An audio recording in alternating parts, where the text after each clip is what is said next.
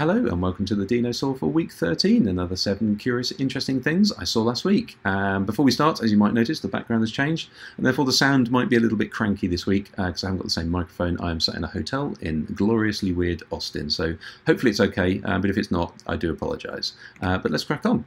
Uh, first of all, what are Kawasaki up to at the moment? You might know them, most people would know them from their motorcycles, for instance. Uh, they are also uh, making these quadrupedal robots.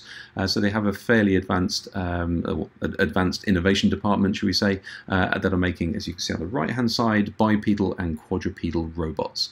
Uh, so this is Bex. So this was uh, based or is based on an ibex, i.e. a goat, um, and uh, it can carry a hundred kilograms uh, of of load. So it doesn't have to be a human. it can actually just be load. Um, interesting features are it can have a replaceable head, so you can change it for a horse, and I really like that whacking great big stop button, that panic button on the side of it as well, just in case it, it malfunctions. Uh, that's a nice detail. Um, the European Union are one step closer to ratifying their Digital Markets Act. So uh, this has been going through step by step, uh, and uh, this is one of the last steps it's got to go through. Uh, this might even become law as soon as October this year. So what it's basically looking at is the big digital gatekeepers, as they're called. So these are the Facebooks and the Googles of the world.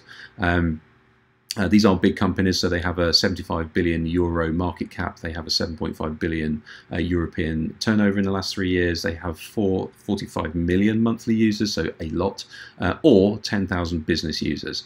Um, so these companies uh, can have a huge uh, influence on the market. So what this bill does, or what this uh, law will do, is will stop things like um, these big companies setting default software, also giving priority to their software, promoting their own software, and also um, playing within what they call a walled garden. So they have to now play nicely with other um, platforms and technologies as well. So, for instance, if you're doing a FaceTime call, then that might need to start playing with Teams anytime soon. So, I'm not really sure exactly what that means, but it might have a huge impact in Europe. Uh, if you are one of those companies and you get caught flouting this law, then you might be fined 10% of your global revenue. That's not your European, that's global. So, uh, one more step along that way. It is much closer. This was as of last Thursday, so a couple of days ago.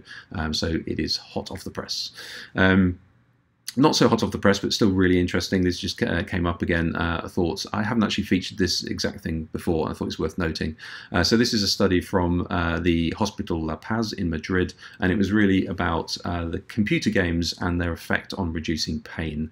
Uh, this was a study with children undergoing, you know, quite painful chemotherapy or anti-cancer treatments, um, and it found that if you gave them a, a computer console or a game to play, and you tested some vital statistics, which is what this machine is doing here, uh, you actually uh, discovered that it re reduced pain by 14%, which is not insignificant, which therefore led to less uh, need for morphine, which has its own side effects as well. But what it also did is it increased what's called parasympathetic, uh, yeah, sympathetic, that's the way you say it, tone, which is how your body reacts and how it can recover from illness as well. So it basically um, made you respond quicker and faster to getting better. So um, we hear a lot about games being bad for people uh, in certain situations, but actually they can be used for therapeutic use as well. So that's very good, like that.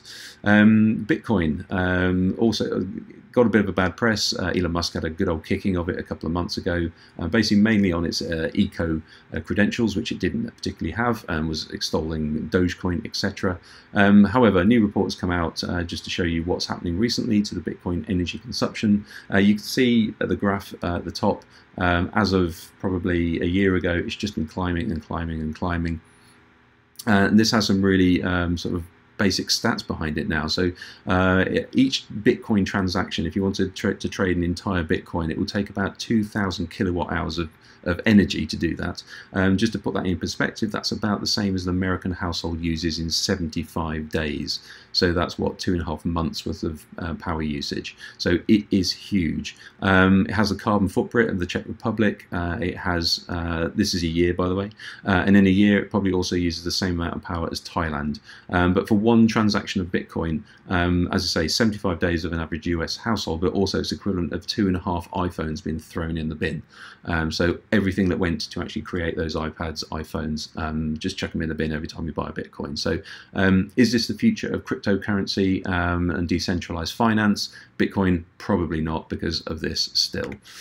Um, this is a really interesting study. Uh, it's the first time an insect uh, brain has been used, or at least the analysis of a brain has been used for something other than the kind of a, one-to-one relationship of technology. So, for instance, uh, this is a, a hoverfly, and uh, its, its brain and basically its analysis and the algorithms that go on and uh, have been used before for image stabilization, which is obviously what it does brilliantly. But actually, now what they've used it for is audio. So they've taken the same sort of um, algorithms that they got from its brain and applied it to detecting the sound of drones up to three kilometers away. So these are, you know, electric, that sort of high pitch buzz of a drone. If you're in a military application, uh, then obviously you need to know about a drone that's three kilometers out, so that's pretty good as well. Also, if you're a commercial air, airport as well, you need to hear these as well. So um, it was really interesting the way that they're, they're sort of delving into the uh, biological world to look for algorithms that can be now applied across um, boundaries, shall we say. So um, there was a really famous study a while ago with pigeons, for instance, the way their eyes work.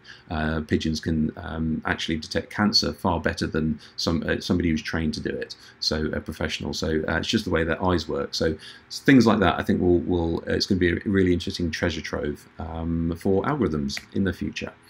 Uh, talking about algorithms. Uh, this is uh, really interesting research about uh, what initially was about sort of pose estimation. So pose estimation is really interesting. So when somebody moves or something moves, how can you estimate where it's going to be next and therefore have a better, uh, more accurate result? Um, so that's going on here anyway. But what they're also doing is they're um, highlighting things in video just using semantic lookup. So using words. So show me, for instance, a skateboard being ridden by a person it can find that and it can highlight it. Likewise, you know, on a white co uh, cockatoo, a green parrot, etc., etc.